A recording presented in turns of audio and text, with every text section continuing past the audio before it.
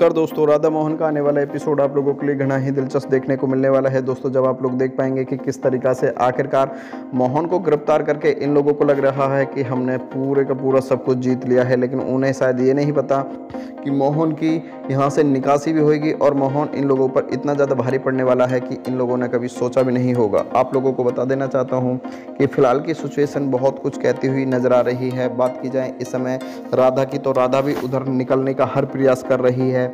और उसका हर प्रयास वाकई में अपनी जगह बिल्कुल वाजिब भी है। आप लोग जानते ही हैं कि इस समय सभी लोग बेहद ज़्यादा टेंशन में नज़र आ रहे हैं। क्योंकि बात की जाए इस समय की तो सभी लोगों को पता है कि कब क्या कैसे करना है। दामनी ने पहले ही अपने मामा से ये सख्त हिदायत दी थी कि कुछ भी हो जाए मोहन, आज की रात जो कि लॉकअप से नहीं निकलना चाहिए। और आप लोग जानते ही हैं कि इस समय लॉकअप से ना निकलने के पीछे एक नहीं, बल्कि कई कई वजह सामने को मिल रही है। साथ ही दोस्तों, आप लोगों को बता देना चाहता हूँ कि जल्दी ही आप लोगों के बीच में एक कहानी में एक और नया भी ट्विस्ट देखने को मिलने वाला है, जहाँ पर दामनी के कुछ ऐसे सबूत हाथ लगने जा रहे हैं मोहन की माँ को, कि जिससे प्रूफ हो जाएगा कि हाँ बहुत बड़ा गेम बहुत पहले से ही खेला गया था और ये गेम खेलने वाला कोई और नहीं था, बल्कि एक सोच समझी साजिश थी।